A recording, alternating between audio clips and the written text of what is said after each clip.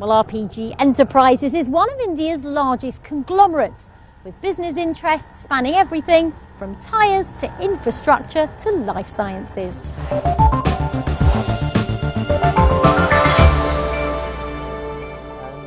I sat down with industry leader and chairman of the group, Harsh Goenka, and began by asking for his view on India's economic slowdown.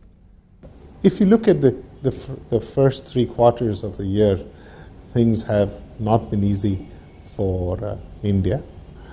Uh, however, when we talk about a 6.8 or a 6.9% growth, we are still much better than, than most of the world. There have been a lot of issues which have uh, affected the uh, Indian situation. Uh, we've had runaway uh, inflation, to control which the government increased interest rates fairly rapidly, which in turn has had a cost in the manufacturing industry.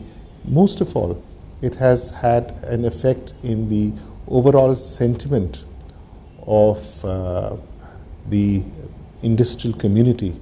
You say sentiment's changing. What's the mood amongst you and your fellow industrialists when you meet up? Uh, in India, the, we, we keep on finding the ease of doing business not so good.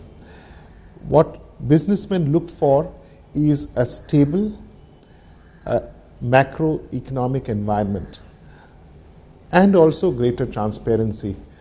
Some of the, uh, the 2G scams, some of the other issues that have come in have not helped the sentiment. What policies need to be implemented to get things back on track? The first is we need to create employment. Uh, the manufacturing sector is, is very important for doing that. So the challenge is how do you create capital uh, equipment manufacturing so that employment is being created because I can see in the future social strife taking place because you will have a large educated class who will not have a job to do. The Prime Minister's economic advisor is predicting that in the year 2012 to 13, growth will pick up to 8%. What's your assessment of that? I'm uh, an optimist, and I do believe that we will have growth between 7.5 and 8%. I, I think the global economy is, is improving. America is looking much better than what it did earlier.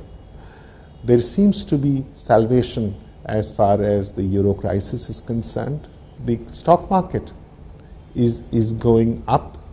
Uh, therefore, there will be more fundraising opportunities by the corporate sector to deploy it for their future expansion.